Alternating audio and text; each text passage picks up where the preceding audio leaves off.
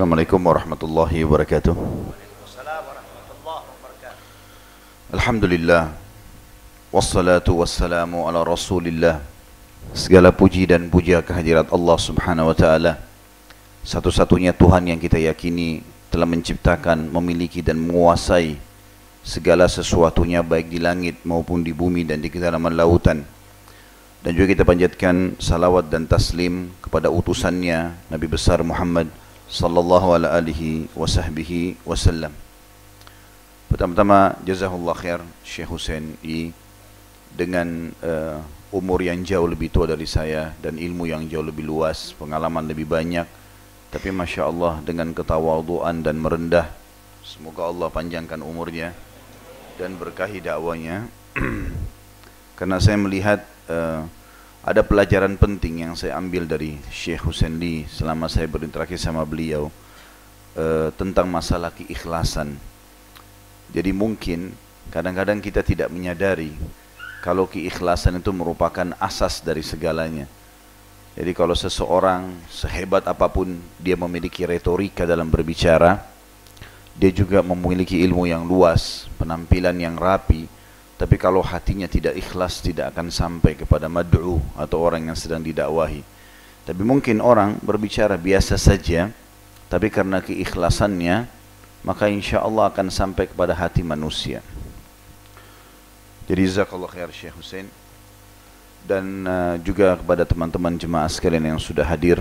Mudah-mudahan Allah Subhanahu wa taala mengikhlaskan niat kita dan menjadikan majlis kita ini majlis yang bisa ditambahkan sebagai tambahan amal kita pada hari kiamat. Baik judul kita pada hari ini uh, setelah pamit dengan syekh kita. Indahnya menjadi orang saleh. Teman-teman sekalian, agama Islam mengajarkan kita agar menjadi orang yang sempurna dalam segala hal. Islam menyuruh kita untuk menjaga kebersihan badan dan jiwa. Kita tahu dalam Islam ada mandi wajib. Diwajibkan mandi di hari Jumat bagi laki-laki, mandi junub bagi laki-laki dan perempuan. Kemudian juga ada mandi haid dan nifas, ya. Serta ada mandi yang sifatnya sunnah, untuk mendinginkan badan, membersihkan badan sebab Allah Subhanahu wa taala memberikan kepada kita rasa gerah, keringat. Itu tujuannya untuk memberikan peringatan kalau tubuhmu sedang butuh untuk dibersihkan. Mulut kita pada saat bangun keluar bau yang tidak sedap, tujuannya peringatan agar dibersihkan. Pada saat perut kita lapar, peringatan agar tubuhmu diberikan makanan. Haus, tubuhmu lagi butuh air Semuanya ditata dengan sistem yang rapi. Dan Islam menyuruh pengikutnya untuk jadi rapi dan bersih. Kalau kita bicara masalah fisik saja, banyak sekali riwayat yang menjelaskan tentang kebersihan ini. Di antaranya tentang penduduk wilayah uh, wilayah Masjid Kuba di Madinah. Allah Subhanahu wa taala menyebutkan tentang mereka A'udzu billahi minasyaitonir rajim lamasjidun lamasjidun ussisa 'ala taqwa min awwal yawmin haqqu an taquma fi fihi rijalun yuhibbuna an yatatahharu. Wallahu yuhibbul mutahhirin. Yang artinya masjid yang pertama dibangun di atas kesak, di asas ketakwaan karena betul-betul ingin mencari pahala yaitu masjid Kuba Nabi SAW begitu tiba di Madinah hijrah pertama beliau lakukan membangun masjid itu lebih pantas kamu sholat di situ hai Muhammad ya. dan di sekitarnya ada laki-laki yang suka bersuci. Dan Allah suka dengan orang-orang yang bersuci. Apa maknanya tafsir ayat ini? Kata ulama di sekitar masjid Kuba mereka kalau bersuci menggabungkan antara istinja sama istijmar. Istinja itu istilah dalam buku fikih kita kalau membersihkan diri dengan air kalau air tidak ada, kita menggunakan batu, namanya istijmar. Nah, dalam Islam kita pilihan. Kalau ada air ya sudah cukup. Ya, kalau tidak ada air baru pakai batu. Tapi penduduk sekitar Kuba menggabungkan keduanya. Mereka maaf sudah cebok dengan air, mereka pakai batu lagi. Dan Allah puji, Allah mengatakan fihi rijalun yuhibbuna an yatatahharu. Di sekitar Kuba itu ada orang-orang yang suka bersuci, suka sekali bersih dan Allah menyukai orang-orang yang bersih. Kita tahu juga banyak riwayat di antaranya Nabi alaihi salatu wassalam beliau itu pernah satu kali oleh Ka'ab bin Malik radhiyallahu digambarkan. Jadi Ka'ab bin Malik ini kebetulan lagi ada di depan rumah baginda Nabi SAW dan bulan lagi terang, bulan purnama. Kalau kita biasa, kalau teman-teman sudah biasa puasa pertengahan bulan, Ayyamul Bid, puasa tiga hari setiap bulan, tanggal 13, 14, 15, biasanya 14, 15, 6, uh, 13, 14, 15 Hijriah ini bulannya terang. Ya, bulan purnama kalau di Indonesia dikatakan bulan purnama ya. Nah di bulan ini tepat pas bulan purnama Ka'ab bin Malik lagi melihat bulan itu. Indah sekali menurut dia. Dia bilang saya melihat ke bulan sangat indah. Padahal bulan cuma bulat ada cahaya tapi Allah buat begitu. Sangat indah. Tiba-tiba dia bilang Rasulullah SAW membuka pintu rumah beliau dan beliau selepas mandi habis mandi rambutnya disisir dengan rapi ke belakang menggunakan jubah yang berwarna merah bergaris hitam maka aku pun melihat ke arah Rasulullah SAW dan aku lihat bulan itu aku temukan Rasulullah SAW lebih bagus daripada bulan itu. Karena tampannya, bersihnya para sahabat mengatakan kami kalau berada di sekitar Nabi SAW kami temukan bau yang wangi.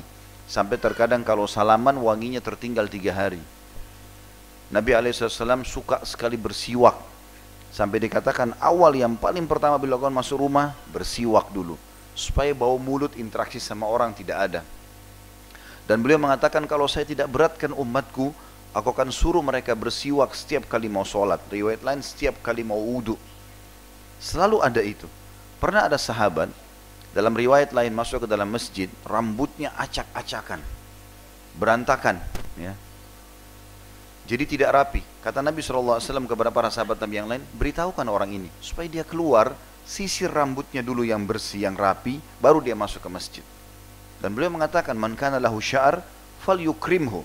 Siapa yang Allah karunia rambut, dia harus menghormatinya, merawatnya. Kita tahu juga dalam Islam ada lima fitrah yang harus dijaga.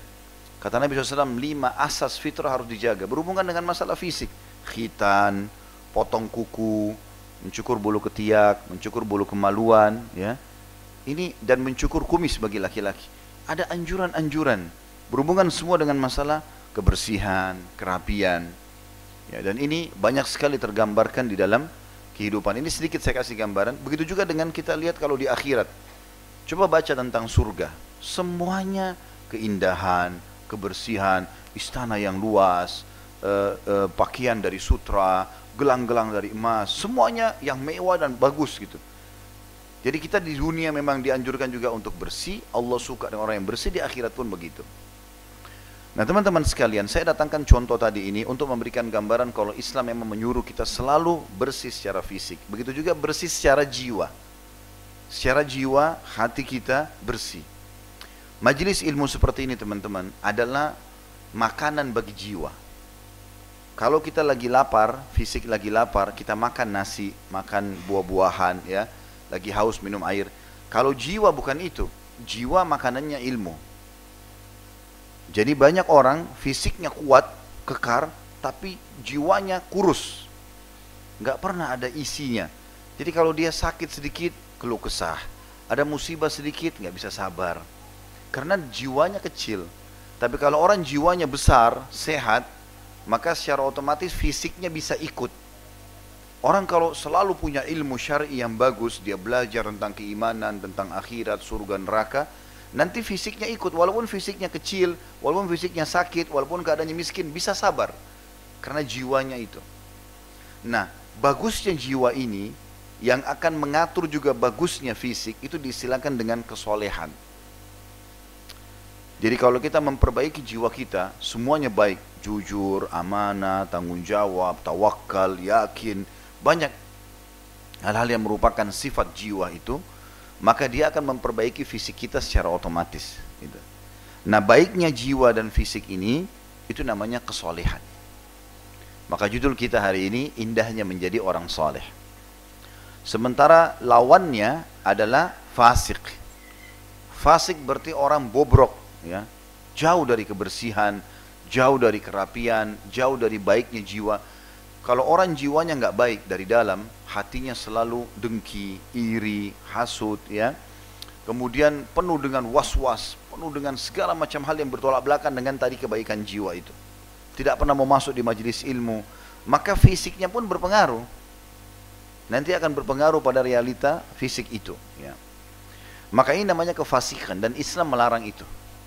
Allah pun membuat secara fitrah, secara fitrah kita suka dengan kesolehan itu. Jadi misalnya kalau ada orang senyum, ramah, baik, dermawan, ya baik semua, kita mengatakan oh orang ini baik. Memang Islam menyuruh itu.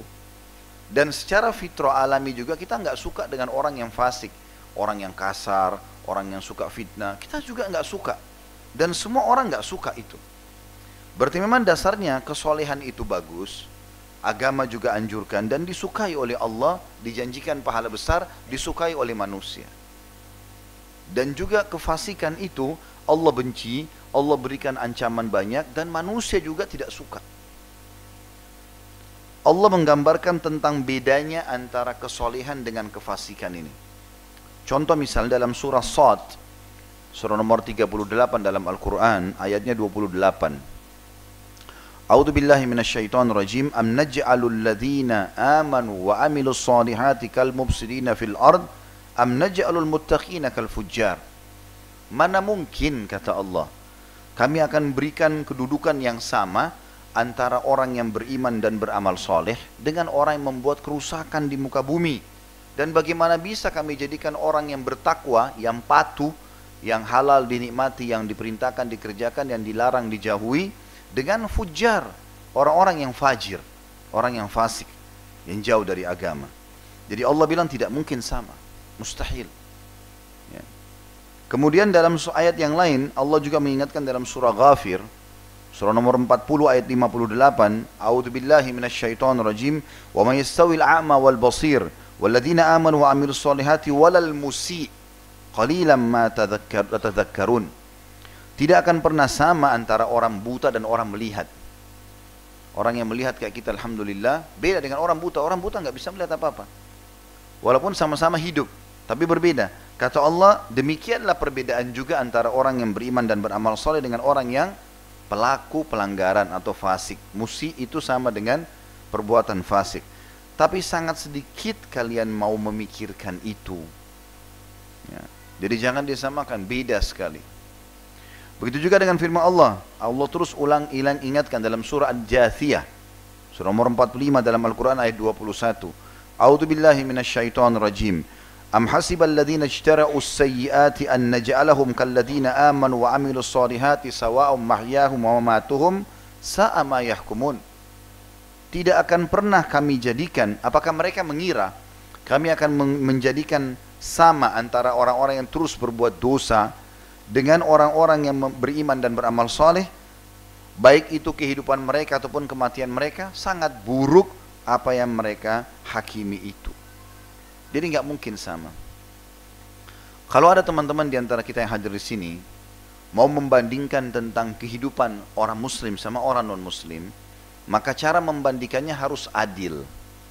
Maksudnya begini ada orang di antara kita banyak teman-teman sekalian dia mau membandingkan keadaan dia secara ekonomi yang kira-kira mungkin ekonominya biasa sekali tapi tetangganya ada orang yang kaya raya. Lalu dia menganggap oh saya kalau jadi muslim saya miskin ya. Kalau ini tidak miskin. Saya tidak bisa punya rumah mungkin gaji saya kecil. Sementara ini ya bisa. Ini kadang-kadang terutama kita di Asia Tenggara karena mayoritas muslim ya kita tidak coba berlaku adil di sini saya pernah berangkat ke Amerika, saya pernah ke Australia, pernah banyak negara-negara non-Muslim, pernah mendatangi Jepang, pernah mendatangi Hong Kong, pernah mendatangi banyak negara-negara yang diundang. Saya melihat banyak orang miskin, banyak sekali, dan hidupnya juga susah gitu. Jadi bukan berarti orang kalau beriman kemudian dia hidupnya susah. Kalau ada orang beriman mungkin tolok ukurnya, hartanya kurang, mungkin. Tapi ada kebahagiaan jiwa yang susah sekali untuk dibeli dengan harta.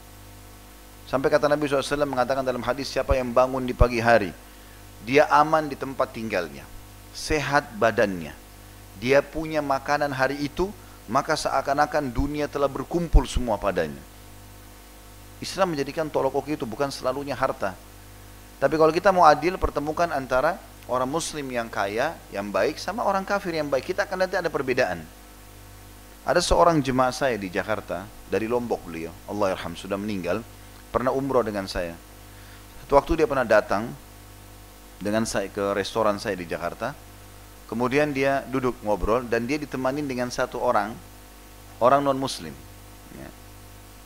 Ini dua-duanya orang kaya. Yang muslim ini datang kemudian dia salaman nama saya, dia bilang ini teman saya Ustadz orang non muslim. Oh ya selamat datang. Saya sambut dengan baik, salaman duduk ngobrol sama-sama.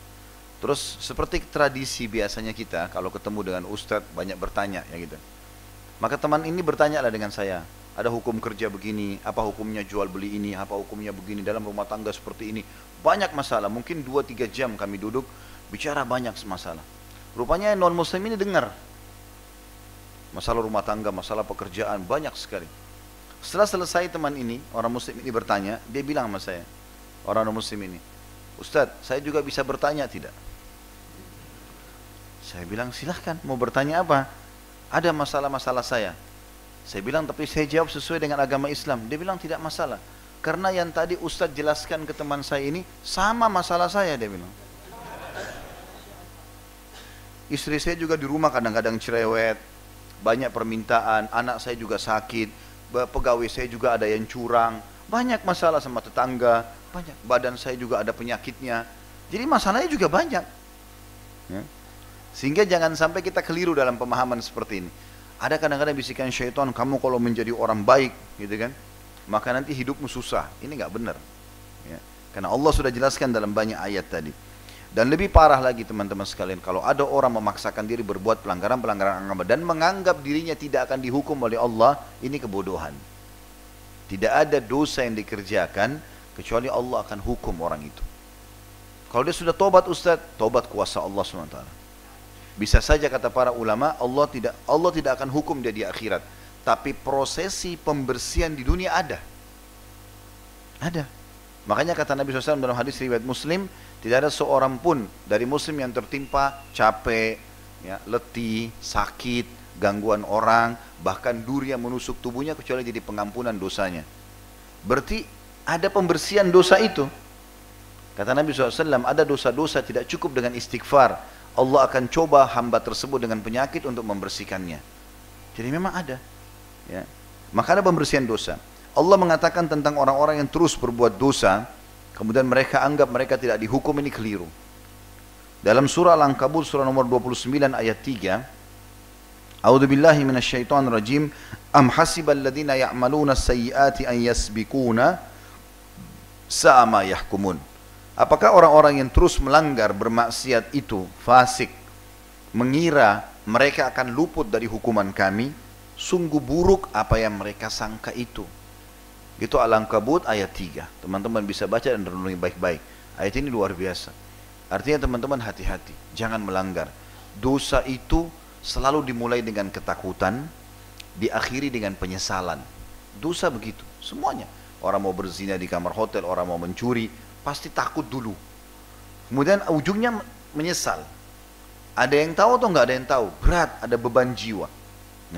Sementara amal soleh dimulai dengan keikhlasan, diakhiri dengan kepuasan. Orang duduk di majelis ilmu begini, duduk satu jam, dua jam, dengarin ceramah. Tapi dia kalau dia ikhlas, dia akan puas nanti kalau bu, oh ternyata ilmunya ini ya. Gitu. Ada kepuasan. Ibadah begitu. Orang pergi haji, capek, panas, jauh, biayanya besar. Tapi kalau orang ikhlas, nggak ada orang pulang haji ditanya mau haji lagi nggak? Lalu dia bilang enggak, saya nggak mau. Hah? Padahal capek, panas. Tapi karena ikhlas, maka dia akan bilang, iya tentu saya mau. Mudah-mudahan satu waktu saya akan kembali. Kecuali dia tidak ikhlas. Baik, saya ingin lebih dalam membahas teman-teman sekalian, apa manfaatnya menjadi orang soleh? Kalau teman-teman menjadi orang yang baik, patuh sama Allah, dapat apa sebenarnya? Saya akan ringkaskan ada 17 poin ya, yang baru saya bisa susun. Mungkin tentu ilmunya Allah luas sekali. Yang pertama sekali, Allah menjanjikan kehidupan yang baik. Atau diistilahkan dengan hayatun tayyibah. Allah berfirman dalam surah An-Nahl, surah nomor 16 ayat 97. Saya berharap kalau teman-teman punya Al-Quran di handphone dibuka. Karena ini semuanya pakai ayat Al-Quran. Untuk dijanjikan kehidupan yang senang, yang bahagia, yang baik, itu Allah bilang dalam surah An-Nahl surah nomor 16 ayat 97, A'udzu billahi minasyaitonir rajim, man 'amila salihan min dzakarin aw untha wa huwa mu'minun falanuhyiyannahu hayatan thayyibah wa lanajziyannahum ajrahum bi ahsani ma kanu ya'malun. Siapa pun yang beramal saleh, amal saleh artinya patuh terhadap perintah Allah, wajib atau sunnah dikerjakan semua. Yang diharamkan, yang dilarang haram atau makruh ditinggalkan. Makruh pun ditinggalkan. Siapa yang mengerjakan amal soleh dari laki-laki dan perempuan sementara dia beriman, hayatan. Kami pasti kata Allah memberikan dia kehidupan yang thayyibah. Jadi saya berikan penjelasan dulu. Orang Arab ini kalau menggunakan kalimat uh, itu betul-betul sudah high quality udah. Jadi kalau makanan itu lezat, orang Arab mengatakan ladhil, enak, nikmat, ya. Tapi kalau udah wangi, rasanya enak, porsinya pas, mereka bilang tayyibah. Ta'am tayyib. Tadinya awalnya ta'am laziz, cuma nikmat saja. Tapi kalau sudah luar biasa, maka mereka menggunakan tayyib. Makanya baginda Nabi SAW mengganti nama Madinah Munawwarah, Al-Madinah Munawwarah namanya Yathrib sebelum Islam masuk. Nabi SAW mengganti pertama kali dengan Tayyibah dan Toba. Artinya negeri yang nyaman untuk ditinggali, penduduknya baik, semuanya bagus. Baru kemudian muncul istilah yang lain Al-Madinah Al-Munawwarah. Kota yang penuh dengan cahaya kenabian. Tapi di sini Allah SWT janjikan dan ini tidak mungkin salah. Inna Allah la yukhliful mi'ad. Allah tidak akan pungkiri janjinya. Allah bilang kami pasti hidupkan dia dengan kehidupan yang baik walanajziyannahum ajran bi ahsani ma kanu ya'malun dan kami akan berikan pahala yang sempurna. Kata sebagian ulama tafsir, kalau dia baik, dia soleh, tiap hari kerjanya ada orang, tidak ada orang, tetap dia patuh sama Allah. Apa yang wajib on time dikerjakan, yang sunnah juga selalu begitu, yang haram dan makruh ditinggalkan, maka secara otomatis pada saat dia mau makan Allah kasih dia makanan yang thayyibah minum minum yang thayyib kemudian eh, rumah tempat tinggal tempat tinggal yang thayyib istri atau pasangan suami yang thayyib keturunan yang semuanya thayyibah jadi satu paket makanya teman-teman jangan kalau ada yang sempat hadir kemarin kemarin sempat ada bahasan juga kita indahnya menjadi hubungan dengan sang pencipta Allah tapi kalaupun tidak maka saya membahasakan kita kalau beribadah, asal kita betul-betul ikhlas ya dan punya ilmu, maka kita akan nikmati itu. Ada kenikmatan. Nikmat sekali ibadah itu. Cuma teman-teman ada timbangan. Timbangan amal, ada timbangan amal baik, amal buruk ya. Kenapa ada sebagian orang kalau dia sholat belum bisa khusyuk? Kenapa dia kalau sedekah masih hitung-hitung? Kenapa dia kalau bangun sholat malam dia tidak mau bangun misalnya? Atau dia berzikir masih malas? Atau apalah? menjenguk orang sakit, bakti orang tua banyak. Karena amal solehnya ini masih berimbang dengan dosanya. Dia sholat iya, tapi dia masih suka gunjing, fitnah, riba, masih macam-macam. Jadi amal soleh sama dosanya masih berimbang. Makanya ini tidak khusyuk, ini juga tidak khusyuk. Ya, ini tidak ada nikmat, ini tidak nikmat. Orang kalau beribadah masih ada dosanya, masih berimbang, nggak bisa khusyuk, percuma. Teman-teman kalau rasa kalau sholat masih sering mengkhayal, perbanyak istighfar kepada Allah SWT. Selain memperbaiki bacaan dan juga gerakan sholat. Nanti ini kalau terus pintu dosa, tentu teman-teman sekalian lebih tahu dosanya mana. Ini ditutup kerannya, jangan sampai ada lagi dosa. Nanti biar ini naik. Ini kalau naik lebih khusyuk nanti. Contoh kalau teman-teman pernah umroh atau haji, saya pernah bimbing di Saudi selama 9 hari reguler umrah, gitu. Selama 9 hari di sana, kerjanya azan ke masjid. Pulang ke hotel, tunggu azan lagi untuk ke masjid. Nanti sore ada pengajian. Masuk ke mall, nggak ada musik. Perempuan semua berhijab. Nggak ada pintu dosa.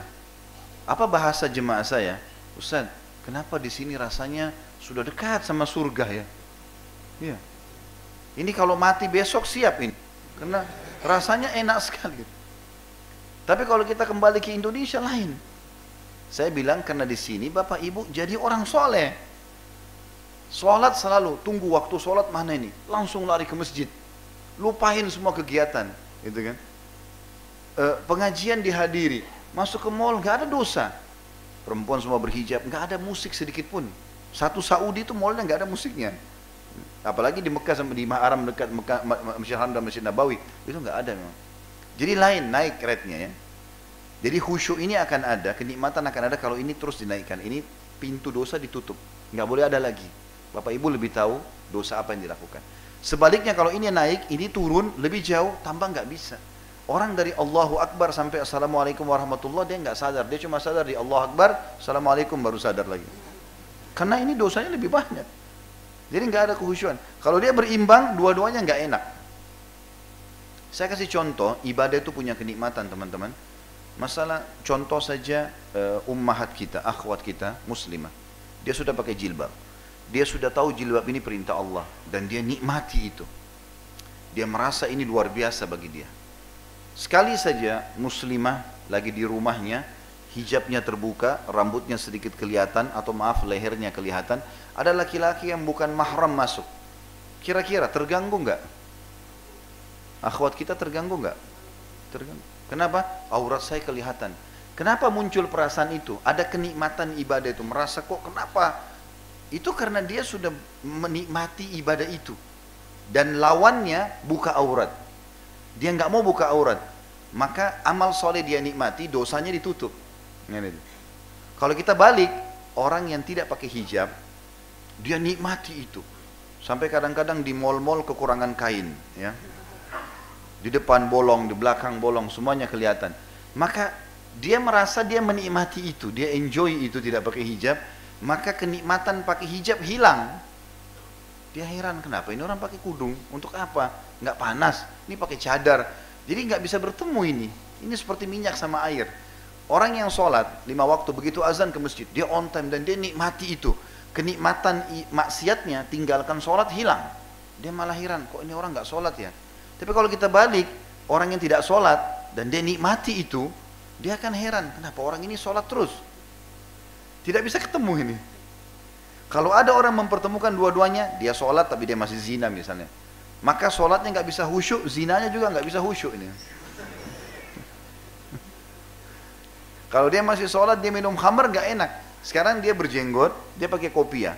Lalu masuk hotel, ma masuk hotel mau zina. Enak gak?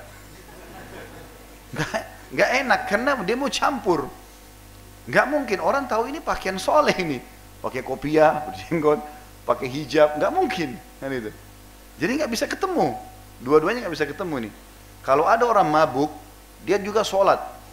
Sekarang jam 2 malam dia mabuk. Tapi jam 5 subuh dia mabuk sebentar subuh nih. Nggak enak. Dia juga nggak enak buat dosanya. Jadi kan nggak bisa ketemu ini. Ya. Oleh karena itu teman-teman, ini harus ditutup. Dan anda lebih tahu apa dosa itu. Dan ingat firman Allah, A'udzu billahi minasyaitonir rajim. Innallaha la yughayyiru ma biqaumin hatta yughayyiru ma bi anfusihim. Allah tidak akan mengubah nasib satu kaum sampai mereka mengubah nasib mereka sendiri. Tapi luar biasanya ada sabda Nabi merincikan firman Allah ini. Hadis Qudsi. Ya kata Nabi SAW Allah berfirman ha, kalau hamba-hambaku uh, tidak ada amal yang aku paling cintai kata Allah dibandingkan apa yang aku wajibkan. Salat wajib, zakat, puasa Ramadan, haji itu yang paling Allah suka. Maka kita harus perindah maksimalkan itu. Lalu seorang hamba terus dekatkan diri kepadaku dengan amal-amal sunnah sampai aku mencintainya. Kalau aku mencintainya, aku akan jadi penglihatan yang digunakan untuk melihat, pendengaran digunakan untuk mendengar, tangan digunakan untuk menjama, kaki yang digunakan untuk melangkah. Jadi kalau dia mau mengubah dirinya menjadi lebih baik, maka Allah SWT akan dekatkan diri kepadanya. Dalam hadis lain, kalau dia dekatkan diri kepada aku satu jengkal, aku satu hasta. Kalau dia satu hasta, aku satu depah. Kalau dia berjalan, aku berlari. Kata Allah SWT, artinya sedikit saja hadirin majelis ilmu sekali, satu lima waktu sholat sehari saja jaga di masjid perasaan iman itu ada kalau kita terus jaga maka bagus sampai kata Nabi SAW siapa yang bisa menjaga takbiratul ihram di masjid 40 hari maka dia akan diselamatkan dari sifat kemunafikan nggak ada lagi pungkiri janji tidak ada lagi hianati amanat tidak ada lagi berdusta Bapak-bapak di sini, saudara-saudara sekalian, adik-adik laki-laki, azan masjid. Takbiratul ihram pertama sudah harus ada di situ. 40 hari. Walaupun cuma sekali sumur hidup. Karena itu dijamin hilang dari sifat kemunafikan. Artinya ada motivasi untuk menjadi orang yang baik. Dan tidak bisa ketemu antara keduanya. nggak bisa dicampur adukkan ini. Selanjutnya teman-teman sekalian, yang kedua Allah Subhanahu wa taala menjanjikan keberuntungan. Kalau tadi kehidupan yang baik. Yang kedua adalah keberuntungan. Allah sebutkan dalam surah Ar-Ra'd, jadi beruntung dalam segala hal. Apa pun yang dia kerjakan dia akan selalu beruntung. Dalam surah Ar-Ra'd surah nomor 13 ayat 29. Allah berfirman, A'udzu alladzina amanu wa amilus solihati tuba lahum wa husna ma'ab. Ma, kalimat tuba ini jadi saksi bahasan kita. Orang-orang yang beriman dan beramal soleh, keberuntungan akan selalu bersama mereka. Dan juga mereka akan masuk ke dalam surga. Juga di dalam ya, surah Al-Qasas, surah nomor 28 ayat 67 Allah berfirman, A'udzu billahi rajim fa amma man taba wa amana wa amila salihan fa asa ay yakuna minal muflihin. Adapun orang-orang yang taubat dari dosa-dosanya, kemudian dia beriman dan beramal saleh, maka mereka termasuk orang-orang yang muflihin, beruntung. Ya. Kata ulama, kalau dia menikah dia beruntung, kalau dia bisnis dia untung, kalau dia apa saja dia beruntung. Allah mudahkan jalannya. Yang ketiga, dia akan dapat pembersihan dosa, kesalahan yang lalu dimaafkan. Allah menyebutkan dalam surah Al-Maidah, surah nomor 5 ayat 9. A'udzu billahi rajim. Alladhina amanu wa amilu salihati lahum magfiratun wa ajrun azim. Allah menjanjikan semua orang-orang yang beriman dan beramal soleh akan dapat pembersihan dosa dan pahala yang besar. Dalam surah Hud, surah nomor 11 ayat 11, Allah juga berfirman, A'udzu billahi minasyaitonir rajim illa alladziina sabaru. Ini di akhir ayat ya. Hud surah nomor 11 ayat 11, illa alladziina sabaru wa amilus solihati ulaika lahum maghfiratun wa ajrun kabir. Orang-orang yang sabar dan beramal saleh, maka mereka akan mendapatkan pengampunan dan pahala yang besar. Selanjutnya teman-teman sekalian cukup banyak dalil berhubungan dengan masalah itu. Yang keempat, ya, mendapatkan hidayah, petunjuk, ya, dari Allah swt. Petunjuk dalam segala hal, terutama dalam berbuat kebaikan.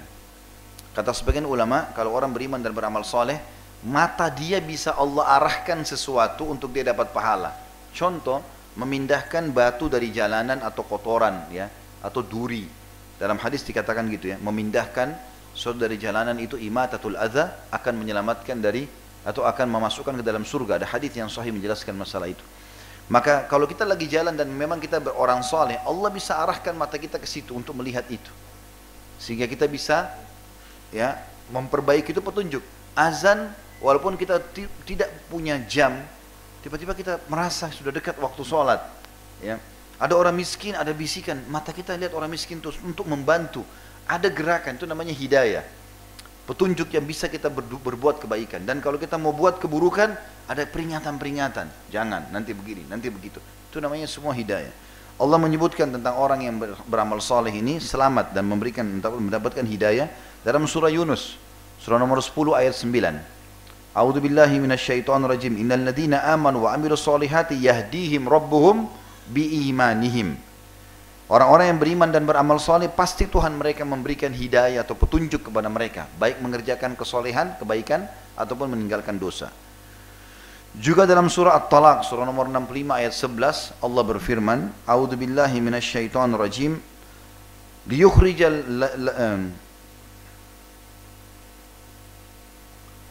liyukhrijal ladzina amanu wa amilus solihati minadh dhulumati ilan nur Allah SWT akan mengeluarkan orang yang beriman dan beramal soleh dari kegelapan kepada cahaya yang terang benderang. Artinya mendapatkan petunjuk di sini. Yang kelima, mereka akan mendapatkan kasih sayang Allah. Ya. Kalau kita waktu kecil, ibu kita suka berkasih sayang. Jadi kalau kita nangis, haus dikasih, lapar diminum, ngantuk digendong, banyak hal. Itu berkasih sayang. Allah SWT menjanjikan juga kasih sayangnya kepada ya, hamba-hambanya. Dan sebelum saya baca surah ini, ada sebuah hadis dalam uh, hadis Nabi SAW yang berbunyi, Allah telah menciptakan 100 rahmah, 100 kasih sayang. Satu Allah turunkan di muka bumi, 99 Allah simpan untuk hamba-hambanya pada hari kiamat. Dan yang satu itu adalah di antaranya binatang atau kuda ya diberikan perumpamaan dalam sini kuda yang mengangkat kakinya supaya anaknya bisa lewat dan tidak keinjak rahmatnya Allah luas Orang beriman dijanjikan itu. Ya. Dan rahmat atau kasih sayang yang sangat dalam disilakan dengan wud. Wud. Ya. Makanya Nabi SAW mengatakan tazawwajul waludul wadud. Menikahlah dengan wanita yang subur dan wadud, penyayang sekali. Santun, rapi, eh, sopan, ya, subur. Ini semua disuruh mencari wanita yang seperti itu. Apa kata Nabi SAW dalam surah eh, kata Allah SWT dalam surah Maryam surah nomor 19 ayat 96 berhubungan dengan masalah itu. A'udzu billahi minasyaitonir rajim. Innal ladzina amanu wa amilus solihati sayaj'al lahumur rahmanu wudda. Orang-orang yang beriman dan beramal soleh di antara kalian akan Allah berikan rahmat kepadanya dan wudda, kasih sayang yang mendalam. Allah kasihan sama dia terus. Allah tutupin aibnya, Allah penuhi kebutuhannya. Yang keenam, Allah janjikan derajat yang tinggi. Derajat yang tinggi. Artinya kedudukan-kedudukan. Tapi ini lebih tinggi pada derajat di surga ya. Allah menyebutkan dalam surah Toha, surah nomor 20 ayat 75. A'udhu billahi minasyaitonir rajim. Wa may ya'tihi mu'minan qad as-salihati fa lahumud darajatul ula. Siapa pun yang beriman kepada Allah datang pada hari kiamat dan beramal soleh, banyak kebaikan-kebaikannya, maka mereka akan mendapatkan derajat-derajat yang tinggi. Yang ketujuh, mereka tidak perlu takut dan khawatir. Semua rasa takutnya Allah hilangkan. Tidak lagi kekhawatirannya. Orang subhanallah kalau tidak beriman sama Allah penuh dengan was-was, ketakutan-ketakutan. Sedikit lihat kegelapan takut, sedikit ini takut, semua takut. Orang beriman tidak ada takutnya. Mau tinggal di rumah mewah, mau tinggal di hutan, mau sendirian, mau rame-rame, sama saja bagi mereka. Tidak ada ketakutan sama sekali. Maka Allah menyebutkan masalah itu dalam surah Al-Maidah surah nomor 5 ayat 69. A'udzu billahi minasyaitonir rajim. Al-Maidah surah nomor 5 ayat 69. Man amana billahi wal yawmil akhir wa amila salihan fala khaufun alaihim wa lahum yahzanun. Orang-orang yang telah beriman kepada Allah dan hari akhir dan mereka beramal saleh, maka tidak ada rasa takut kepada mereka dan tidak ada kesedihan. Enggak ada sama sekali was-was. Uh, izinkan saya berbagi kisah di sini uh, ada seseorang dari salafus saleh dari tabi'in bernama Muhammad. Muhammad ini teman-teman terkenal sekali ibadahnya. Ya. Dia uh, salah satu ibadah yang sangat terkenal adalah sholat malam yang tidak pernah ditinggal. Baik dalam keadaan mukim atau musafir. Dan terkenal sekali dia kalau sudah sholat seakan-akan di sebelahnya ini tidak ada lagi manusia, tidak ada makhluk biar dia di hutan rumput-rumput liar itu menjadi seperti karpet yang mewah.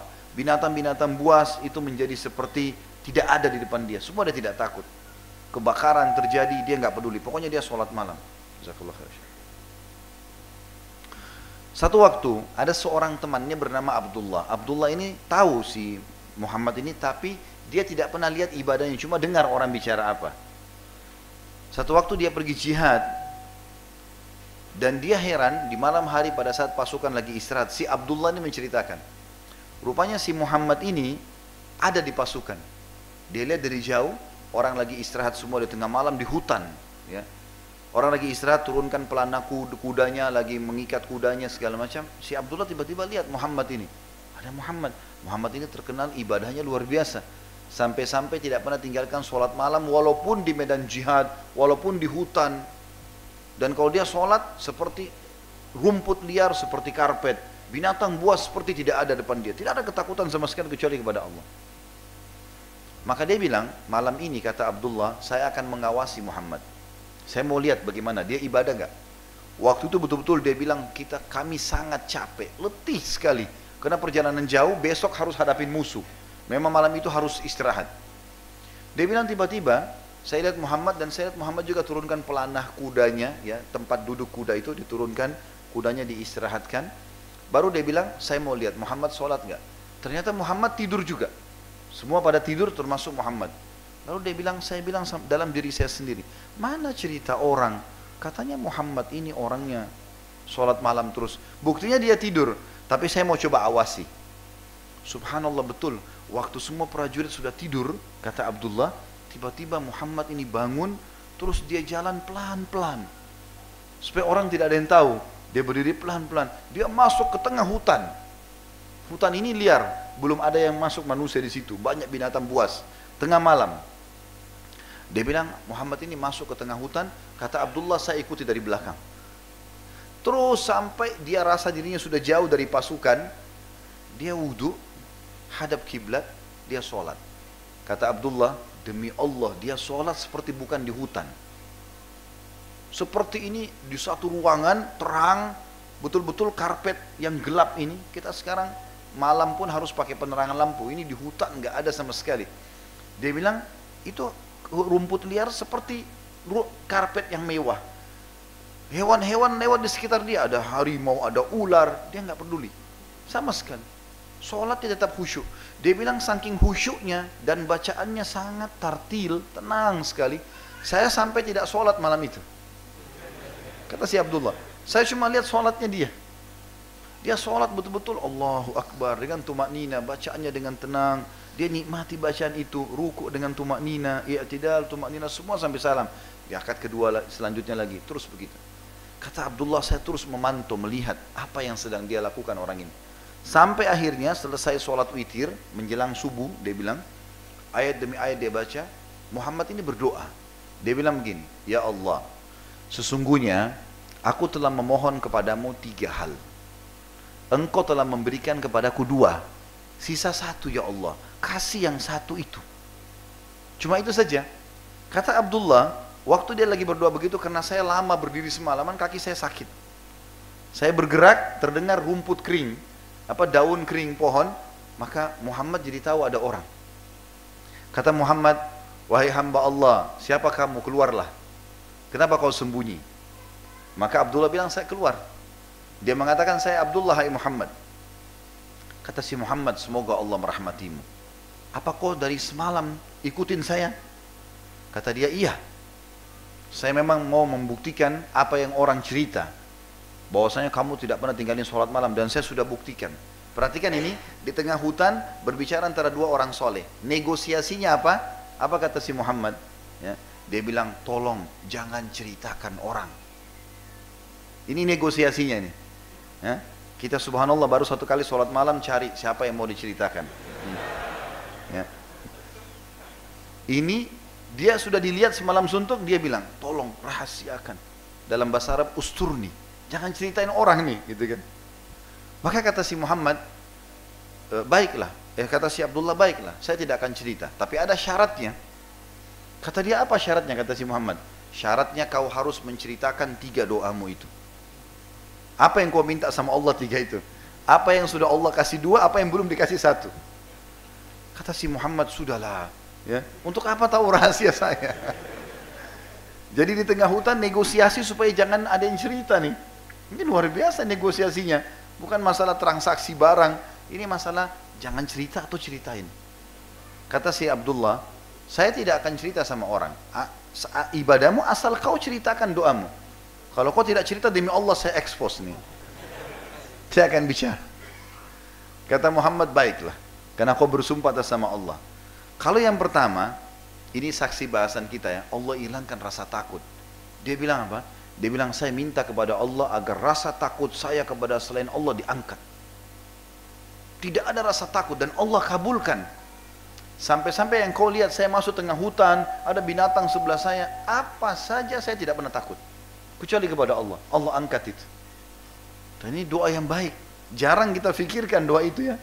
Minta sama Allah, ya Allah, hilangkan semua rasa takut kecuali kepadamu. Ini luar biasa. Ah, kata si Abdullah, yang kedua apa? Kata dia yang kedua, saya minta kepada Allah agar syahwat saya, hawa nafsu saya, Allah hilangkan kecuali pada istri saya saja. Yang halal saja. Yang haram tidak ada sama sekali. Kata dia, demi Allah Allah kabulkan sampai-sampai tidak ada bedanya antara perempuan yang bukan mahram saya dengan tembok bangunan. Sama saja. Seperti tidak ada syahwat pokoknya. Istri ada syahwat, kalau yang lain tidak ada. Dan ini doa-doa yang mulia supaya orang tidak berzina. Ya Allah buat ya syahwatku ada pada pasangan halalku gitu kan. Bukan pada yang haram. Setelah itu dia bilang Allah kabulkan. Kata Abdullah, yang ketiga yang Allah belum kasih apa? Ini permintaannya unik ini. Dia bilang, saya minta kepada Allah agar dihilangkan rasa kantuk saya supaya saya tidak mengantuk. Jadi semalam suntuk saya ibadah terus. Pagi saya bekerja, nggak ada ngantuk lagi. Tapi Allah belum kasih karena kadang-kadang saya masih ngantuk. Ini luar biasa. Bagaimana Allah Subhanahu wa taala membuktikan kepada kita orang soleh memang dihilangkan rasa takutnya.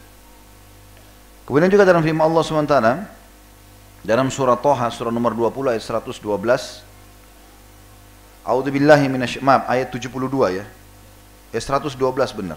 Tulisan saya agak kecil soalnya di sini. Ya. Ini saya tulis sendiri, saya bukan nyontek dari orang lain ya. A'udzu billahi minasyaitonir rajim. Wa may ya'mal minas solihati wa huwa mu'minun fala fala yakhafu dhulman wala hadma. Barang siapa yang ber, ber, beramal soleh sementara dia beriman, maka tidak perlu dia takut kezaliman dan tidak perlu dia takut kebinasaan. Artinya kalaupun ada orang berbuat zalim sama dia, Allah akan tolong dia. Kemudian yang kedelapan, Allah akan berikan rezeki yang luas. Rezeki ini bukan cuma uang, harta ya, tapi kesehatan, ya, berfungsi anggota tubuh, semuanya ini termasuk dalam rezeki. Semua yang membuat roda kehidupan di bumi berjalan namanya rezeki. Allah berfirman dalam surah Al-Hajj, surah nomor 22 ayat 50. A'udzu billahi minasyaitonir rajim. Falladzina amanu wa amilus solihati lahum maghfiratun wa rizqun karim. Orang-orang yang beriman dan beramal soleh pasti akan dapat pengampunan dosa dan rezeki yang karim. Karim itu orang Arab juga membahasakan karim kalau bagus sekali. Ya. Kalau ada laki-laki suka berbagi, Orang biasa mengatakan orang Arab, orang ini baik, jud. Ya. Tapi kalau ada orang sudah tidak ada perhitungan, semua dikasih. Nggak pernah ada orang minta ditolak. Namanya karim. Dikatakan rajulun karim. Allah mengatakan rizkun karim. Dikasih rezeki yang tidak ada batasan. Juga teman-teman sekalian di dalam uh, poin yang kesembilan, Allah akan berikan kedudukan di muka bumi. Ya, sebagian ulama mengatakan kalau dia terus istiqomah, Allah akan berikan dia kedudukan baik dia jadi pemimpin satu lembaga kah, satu wilayah kah, negara kah, intinya Allah kasih itu. Allah sebutkan dalam surah An-Nur, surah nomor 24 ayat 55. A'udzu billahi minasyaitonir rajim. Wa'adallahu alladhina amanu minkum wa 'amilus solihati la yastakhlifannahum fil لا يستخلفنهم في الأرض كما استخلف الذين من قبلهم ولا يمكنن لهم دينهم الذي ارتضى لهم ولا يبدلنهم من بعد, من بعد خوفهم أمنا يعبدونني لا يشركون بي شيئا ومن كفر بعد ذلك فأولئك هم الفاسقون يعني dilihat ya An-Nur ayat 55 artinya Allah telah menjanjikan siapa pun di antara kalian yang beriman dan beramal soleh maka akan diberikan kedudukan di muka bumi sebagaimana Allah telah berikan kedudukan kepada orang-orang yang telah beriman sebelum mereka. Dan pasti Allah akan menguatkan agama mereka yang telah Allah ridhoi dan Allah akan ganti rasa takut mereka dengan keamanan. Mereka menyembahku dan tidak menyekutukan sesuatu dengan aku. Siapa yang kufur terhadap berita ini maka mereka adalah orang-orang yang fasik. Juga dalam surah Al-Anbiya surah nomor 21 ayat 105 Allah berfirman Al-Anbiya surah nomor 21 ayat 105 A'udzu billahi minasyaitonir rajim annal arda yarithuha ibadiyas salihun. Bumi ini pasti akan diwarisi oleh hamba-hambaku yang beriman atau saleh. Jadi Allah akan kasih itu ya, kedudukan. Kemudian yang ke-10, Allah akan berikan dia rahmat. Makna rahmat karunia. Ya. Bahasa Melayu juga sama, karunia. Ya. Kalau karunia ini kalau dalam bahasa Indonesia itu tidak digunakan kecuali pemberian yang sangat mahal. Misalnya kalau makan, minum tiap hari kita dapat, maka dikatakan diberi minum, diberi makan. Tapi kalau anak, harta yang banyak, baru dikatakan dikaruniakan. Anak dikaruniakan itu karena nilainya mahal. Itu bahasa Arabnya rahmah. Jadi kalau teman-teman salam sama orang lain, Assalamualaikum warahmatullahi wabarakatuh. Itu rahmah itu luar biasa maknanya. Makanya jangan berhenti salam suami istri, kepada anak, selalu telepon, tulis, semua ucapkan. Keselam, semoga keselamatan buat kamu, rahmat Allah, karunia yang besar datang kepadamu, dan juga berkah selalu cukup untuk kamu. Allah mengatakan tentang rahmat ini dalam surah Al-Jathiyah, surah nomor 45 ayat 30. A'udzu billahi minasyaitonir rajim. Fa ammal ladzina amanu wa amilus solihati fayudkhiluhum rabbuhum fi rahmati. Siapa pun yang beriman dan beramal soleh, maka Allah akan masukkan dia ke dalam rahmatnya. Selanjutnya teman-teman sekalian yang ke-11 Allah akan berikan dia keselamatan dari kerugian. Ya, khusran. An-najah minal khusran dia akan diselamatkan dari kerugian-kerugian. Allah sebutkan dalam surah Al-Asr, ini yang sudah kita hafal semuanya. Ya. Al-Asr surah nomor 103 tiga ayat ayat tiga ayatnya. A'udzubillahi minasyaitonir wal asri demi waktu kalian di dunia innal insana lafi khusr. Semua manusia pasti rugi. Ya. Illa alladzina amanu wa amilus solihat kecuali yang beriman dan beramal saleh wa tawasaw bil haqqi wa tawasaw bis sabr. Makanya saling menasehatilah, mewasiatkan agar berpegang pada kebenaran dan juga sabar. Tapi di sini orang beriman dan soleh akan selamat dari itu. Yang kedua belas, mereka akan bertemu dengan Allah SWT itu dalam arti kata Allah SWT janjikan bagi mereka surga. Di dalam surah Al-Kahfi, surah nomor 18 ayat 110, A'udzu billahi minasyaitonir rajim, "Faman yarju liqa'a rabbih falyamal amalan salihah." Siapa yang mau bertemu dengan Tuhannya pada hari kiamat, maka dia harus beramal saleh. Kalau teman-teman sudah tahu Alhamdulillah. Kalau belum tahu perlu kita garis bawahi nikmat terbesar di surga melihat wajahnya Allah. Itu nikmat terbesar. Disebutkan dalam hadis Bukhari bahwasanya nanti kalau ahli surga sudah masuk semua ke dalam surga, tidak ada lagi di neraka kecuali orang yang kekal. Kafir, munafik atau musyrik. Kalau orang muslim yang fasik ada dosanya masih bisa masuk ke surga setelah bersih dosa-dosanya. Tapi kalau neraka sudah bersih, nggak ada lagi orang muslim di sana, termasuk orang fasik sudah masuk semua ke dalam surga, maka Allah akan kumpulkan mereka Sementara Allah belum terlihat waktu itu. Saat dari awal di dunia sampai itu Allah belum terlihat. Ya. Maka Allah pun mengatakan, Hai hamba-hambaku, apakah kalian sudah merasa puas dengan apa yang aku berikan? Kata mereka semuanya tentu saja. Kami mau nikmat apa lagi ya Allah? Setelah engkau selamatkan kami dari neraka, masukkan kami ke surga. Karena nanti insya Allah kita di surga teman-teman sekalian, kita bisa lihat neraka. Supaya kita selalu bersyukur kepada Allah, tidak masuk ke sana. Dan orang neraka bisa lihat surga supaya mereka selalu menyesal. Maka kata ahli surga, nikmat apa lagi setelah kami selamat dari neraka kami masuk ke surga? Ini penyiksaan, ini nikmat abadi. Maka kata dalam hadis Bukhari ini dikatakan ada dua riwayat. Riwayat yang pertama, Allah mengatakan hari ini aku angkat murkahku, ya, maka berbuatlah semau kalian.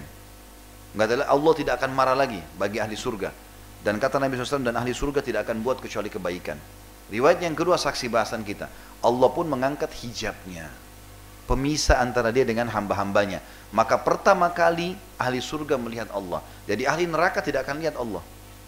Hanya ahli surga. Maka pada saat mereka melihat Allah, mereka mengatakan, Ya Allah tidak ada nikmat yang mengalahkan melihat wajahmu yang mulia. Maka Allah pun memperlihatkan dirinya di setiap pagi dan petang. Dan itu nikmat terbesar bagi ahli surga.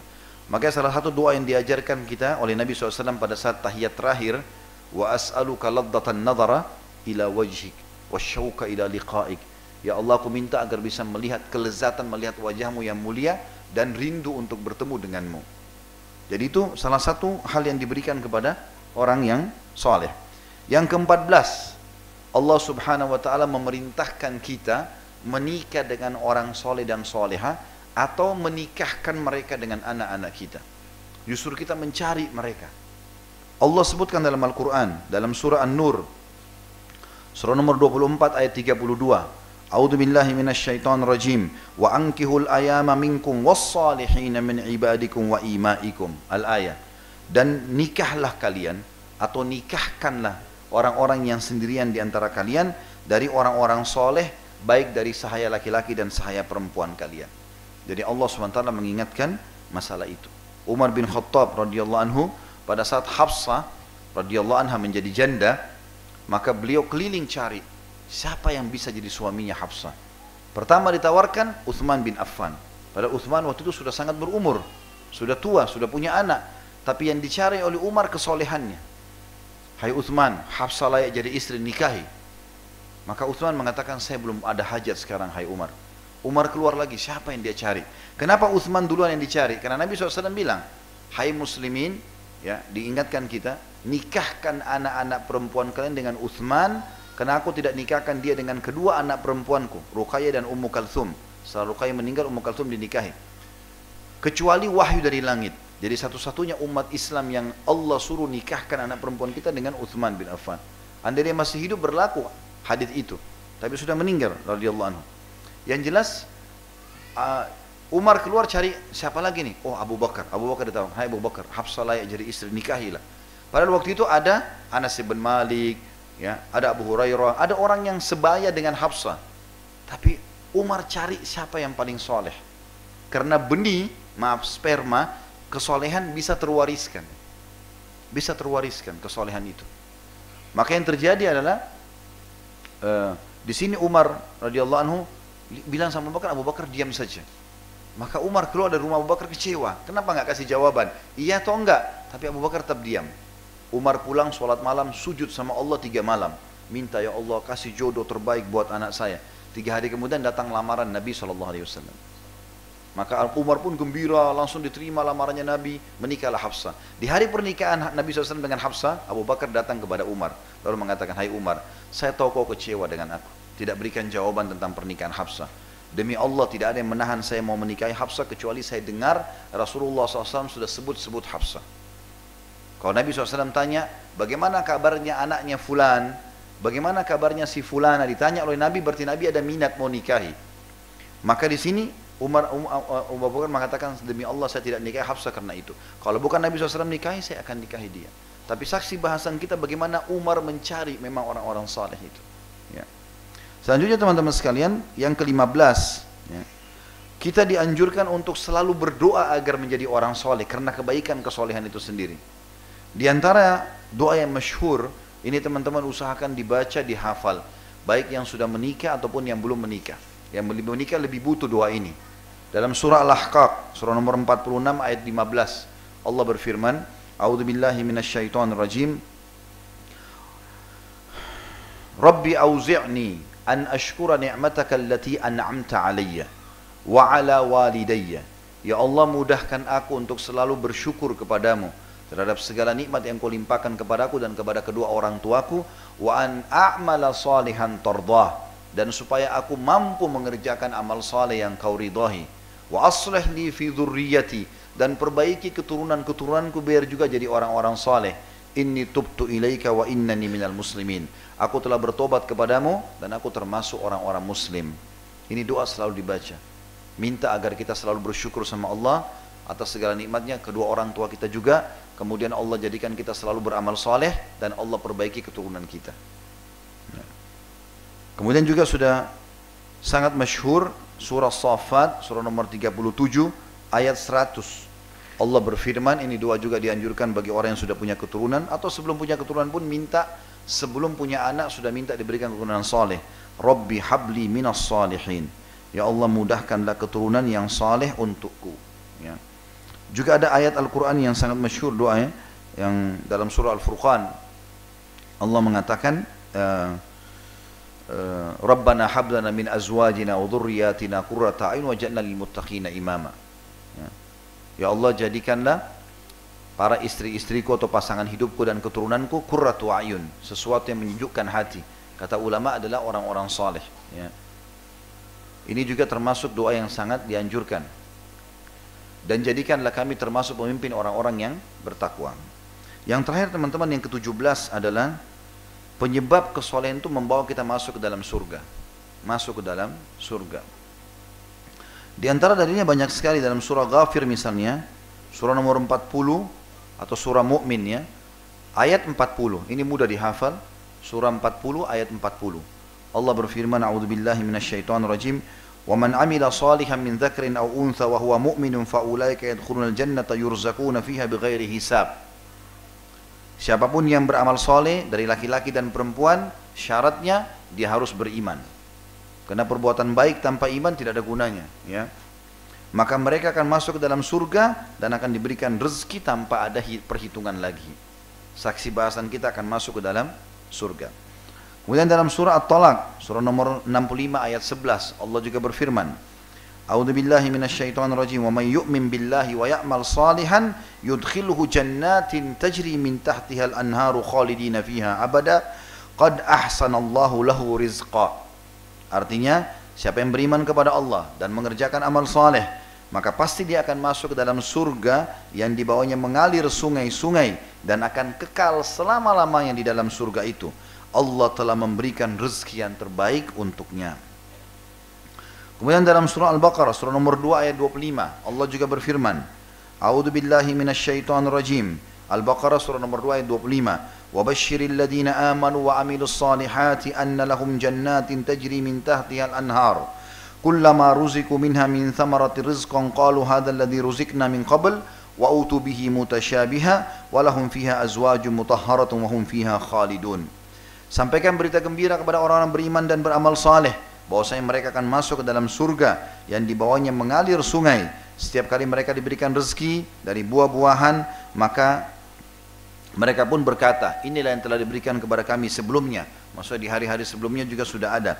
Dan mereka diberikan dengan bermacam-macam buah-buahan dan mereka memiliki pasangan-pasangan yang suci dan mereka akan kekal di dalam dalam surga itu. Juga Al-Baqarah surah nomor 2 ayat 82. Masih surah yang sama tapi beda ayat. Tadi ayat 25 ini ayat 82. A'udzu billahi minasyaitonir rajim. Walladzina amanu wa amilus solihati ulaika ashabul jannati hum fiha khalidun. Orang-orang yang beriman dan beramal saleh, mereka adalah penghuni surga dan mereka akan kekal di dalamnya. Kemudian dalam surah An-Nisa, surah nomor 4 ayat 57 dan juga ayat 122. Yang bunyinya, A'udzu billahi minasyaitonir rajim, walladzina amanu wa amilus solihati sayudkhiluhum jannat. Ya, jadi dua ayat mirip ayatnya di dua surah. Pertama An-Nisa surah nomor 4 ayat 57 dan An-Nisa juga diulangi di 122. Sesungguhnya orang yang beriman dan beramal soleh kami pasti akan masukkan ia ke dalam surga. Saudaraku iman, saya tutup dengan ini. Menjadi orang soleh itu nikmat sekali dan nyaman. Dunia ini jadi mudah dilalui. Karena kalau ada cobaan, dia bersabar. Ada nikmat, dia bersyukur. Dan yang luar biasa, dia selalu hubungkan antara dunia sama akhiratnya. Artinya kalaupun ada yang luput dari dunia, oh nanti saya akan dapatkan di akhirat. Oh belum rezeki saya. Mudah sekali bagi orang beriman itu. Tidak ada penyesalan. Karena sebagai orang yang beriman, semua persepsi negatif harus kita hilangkan. Dendam, putus asa, sakit hati, mengerasa tidak bisa lagi. Ini enggak ada dalam Islam. Kata Nabi SAW, aku sangat aku sangat benci dengan kalimat pesimis saya tidak bisa, saya tidak mungkin sembuh, ya. Selalu kalimat buruk, saya dendam. Maka kata Nabi SAW, wa uhibbul fa'al. Dan aku suka sekali dengan fa'al. Kata para sahabat, ya Rasulullah, wa mal fa'al? Apa itu fa'al? Kata Nabi SAW, kalimat positif. Saya bisa, saya mampu, saya memaafkan. Ya, selalu positif. Islam mengajarkan kita selalu semangat untuk mengejar akhirat dan semua targetnya akhirat. Sampai Abdullah bin Umar radhiyallahu di masa akhir hidup beliau, rambutnya sudah putih semua, alisnya putih, jenggotnya putih semua. Umurnya mungkin sudah mendekati 90 tahun radhiyallahu anhu. Beliau pernah ambil bibit pohon kurma, ditancapin. Pohon kurma ini mirip sama kita kelapa. Sekian tahun baru berbuah, lama sekali. Maka dia tancap, umurnya sudah tua, putih semua rambutnya. Murid-muridnya tanya, Hai Abdullah bin Umar, untuk apa anda tanam pohon ini? Artinya anda tidak akan nikmati hasilnya. Kata Abdullah bin Umar, ini prinsip seorang muslim. Kalau saya tidak bisa nikmati, maka generasi yang datang setelahku akan menikmatinya. Ada tetap pahalanya. Bahkan kata Nabi SAW, kalau di tangan seseorang katanya ada pohon. Di tangan seseorang dan negara ada pohon. Dan dia tahu besok kiamat, tetap dia tancapkan. Penuh dengan motivasi yang baik. Ya, semangat. Tidak ada kata putus asa. Pernah buat salah pun, taubat. Masih bisa. Umar bin Khattab anhu di zaman jahiliyah pemabuk, suka menyiksa umat Islam, gitu kan? Luar biasa gitu. Beliau sampai menceritakan tentang keadaannya. Saya setiap zaman jahiliyah suka mabuk, suka menyiksa orang. Bahkan Umar bin Khattab kalau keluar, dia sama Abu Jahal, sahabat dekatnya. Maka Umar bilang kalau saya keluar khusus siksa orang Islam. Khusus Umar datang ada temannya lagi siksa nih, dia duduk digebukin, dipukul, macam-macam Umar lakukan. Dan kalau sudah malam, kalau sudah ini Umar berhenti. Umar bilang, saya berhenti bukan karena saya kasihan sama kamu, tapi karena saya capek saja. Besok saya kembali. Begitu. Kata Umar Jadi Umar ini luar biasa, benci sama Islam dulu. Tapi setelah dapat hidayah, beda. Begitu dia masuk Islam, dia syahadat, dia tanya Rasulullah, ya Rasulullah, apa itu Islam? Dijelaskan Islam itu begini, begini, begini. Dijelaskan semua. Beriman kepada dunia ini ada ada hukum-hukum di akhirat, ada surga dan neraka. Umar tersentuh secara keimanan. Langsung kata Umar bin Khattab, Ya Rasulullah, kalimat pertama ini setelah dengar Islam itu apa? Bukankah kita benar? Sekarang yang anda jelaskan semua benar. Beriman pada Allah, tidak ada sekutu, Tuhan cuma satu. Kemudian kita harus yang makan yang halal, minum yang halal, tidak boleh yang haram. Ini benar, benar. Bukankah Quraisy salah? Kata Nabi SAW, iya. Kenapa kita tidak perangi ya Rasulullah? Ini baru syahadat berubah langsung. Baik, saya mau perangi ya Rasulullah. Kata Nabi SAW, belum saatnya hai Umar. Belum ada perintah itu. Umar penasaran nih. Dia dekatin sahabat-sahabat situ. Dia bilang begini, siapa orang yang paling benci kalian dulu selain saya? Umar tahu dirinya benci Islam dulu. Kata mereka, sahabatmu Abu Jahal. Maka Umar keluar dari rumah itu, Darul Arkam, pergi ke rumah Abu Jahal, ketuk. Hai Abu Hakam. Abu Hakam ini panggilannya orang Mekah untuk Abu Jahal. Artinya orang yang bijaksana. Karena Abu Jahal ini orangnya gagah, kaya, bijaksana. Tapi nggak mau masuk Islam. Maka Nabi sebutkan dengan Abu Jahal. Kenapa ditanya sama Abu Sufyan, kenapa anda tidak masuk Islam? Jadi Abu Jahal ini rupanya tiap malam suka dengar di rumah Nabi ayat Al-Quran. Di satu tembok sana, si ini juga eh, Abu Sufyan di tembok yang sebelah. Dari malam subuh mereka pisah ketemu. Loh ngapain di sini? Dengar ayat tadi malam. Kita janjian ya nggak boleh ulangi lagi. Besok eh, kita tidak ulangi. Besok mereka datang lagi. Kira temannya nggak datang ya. Sampai tiga hari akhirnya Abu Sufyan tanya Hai Abu Abu Hakam apa yang kau tanggapi dengan baca bacaan ayatnya Muhammad nih dia bilang benar lalu kata Abu Sufyan kenapa kau nggak masuk Islam karena kamu kan pemimpin kami. Kalau kamu masuk Islam, masuk Islam semua. Kalau kau sudah tahu itu kebenaran, karena Al-Quran dalam bahasa Arab, mereka faham. Maka kata Abu, Abu Jahal, ini sebabnya kenapa punya julukan Abu Jahal ya. Nanti saya kembali ke kisah Umar tadi. Maka dia bilang, dari dulu, dia tundukkan kepalanya lalu dia angkat, dia bilang, dari dulu sukunya Muhammad sama sukuku bersaing. Kalau mereka berikan makan minum jemaah haji, suku saya juga lakukan itu. Kalau mereka siapkan pasukan bela Mekah, sukuku juga lakukan itu. Sekarang dari suku Muhammad keluar Nabi, sukuku nggak ada nabinya. Kalau aku beriman, maka sukuku kalah. Aku tidak akan beriman selamanya. Setelah Nabi dengar, Nabi bilang dia Abu Jahal. Bodoh benar. Kalau dia masuk Islam satu Mekah dia dapat pahalanya.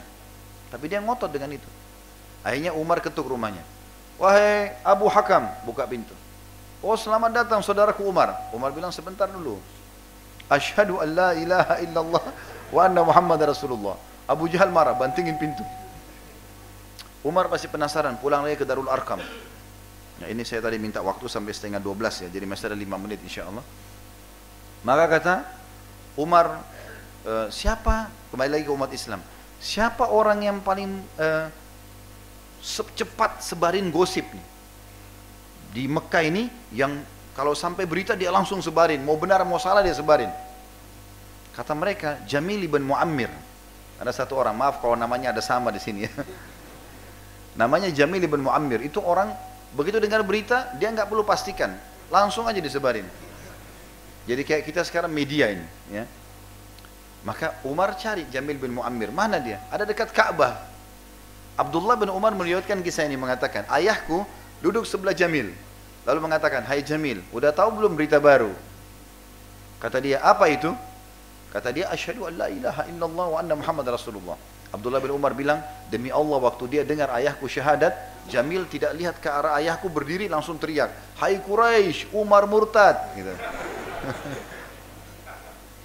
Orang-orang Quraisy pada datang. Hai Umar, benar nggak dikatakan Jamil? Dia bilang saya enggak murtad, tapi asyhadu an la ilaha illallah wa anna Muhammad Rasulullah. Waktu itu orang Islam takut benar sebarin Islamnya karena digebukin, dipukul, dibunuh gitu. Maka Umar berantem dari pagi sampai malam. Satu orang lawan sekian banyak. Kalau Umar sudah maghrib, sudah tiba maghrib, capek, ditangkap satu orang tokohnya, didudukin di tanah, didudukin, baru matanya ditusuk. Kata Umar, kalau kau tidak suruh mereka bubar, ya saya akan butakan mata kamu. Maka orang itu, tokoh Quraisy yang ditangkap sama Umar itu, dijatuhkan di tanah, didudukin dadanya. Dia bilang, e, lepaskan Umar karena dia sudah gila. Dia akan butakan mata saya. Maka bubar orang Quraisy. Besok Umar datang lagi ke dekat Ka'bah. Asyhadu an la ilaha illallah wa anna Muhammad Rasulullah. Berantem lagi. Sampai malam tangkap lagi satu orang, tusuk matanya. Kalau kau tidak suruh bubar, saya akan butakan matamu. Sampai tiga hari. Hari keempat orang sudah tidak berani lagi. Artinya teman-teman sekalian, ada orang subhanallah dari masa tidak tahu, masa tahu. Dia bisa memperjuangkan kebenaran itu. Dan kita butuh untuk itu. Kita butuh teman-teman setelah mengenal ilmu syar'i, amalkan dan istiqomah. Dan ini tidak bisa kita kerjakan sholat malam sekali, besok tidak dikerjakan. Atau kita sedekah hari ini, besok tidak kita kerjakan. Kita butuh yang Allah katakan, wa'bud rabbaka hatta ya'tiyakal yakin. Kalau kau sudah faham agama ini, maka sembahlah Tuhanmu sampai kematian datang kepadamu. Allahu alam.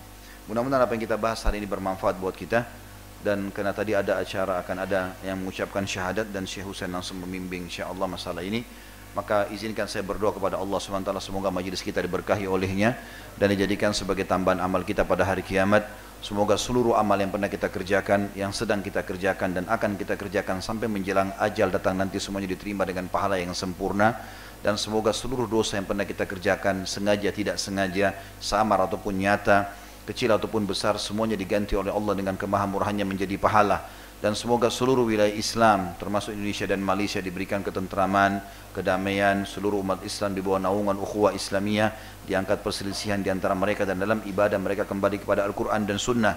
Dan semoga seluruh pemimpin muslim diberikan hidayah petunjuk agar bisa berlaku adil dan seluruh utang-utang negara kaum muslimin dilunasi oleh Allah Subhanahu wa taala. Dan semoga seluruh yang sedang tertimpa masalah di Palestina, di Syria, di Yaman, di Irak, di Myanmar, di Ahsa, di mana pun mereka berada sedang tertindas semoga Allah ikhlaskan niat mereka terima para syuhada mereka mudahkan Islam di tangan mereka dan tangan kita semua dan Allah ikut sertakan kita bersama mereka di pahala baik dengan doa dengan harta juga dengan jiwa kita dan semoga Allah dengan kemahamurahannya yang saya yakin sedang mendengar kita karena dia maha mendengar mengetahui karena dia maha mengetahui dan juga maha melihat karena dia melihat semua gerak-gerik kita agar menyatukan kita semua di surga firdausnya tanpa hisab mana satukan di majalah majlis yang mulia ini. Kalau ada benar pasti dari Allah, kalau ada salah dari saya mohon dimaafkan. Subhanakallahumma bihamdika asyhadu an la ilaha illa anta astaghfiruka wa atubu ilaik. Wassallallahu nabiyana Muhammadin walhamdulillahi rabbil alamin. Wassalamualaikum warahmatullahi wabarakatuh.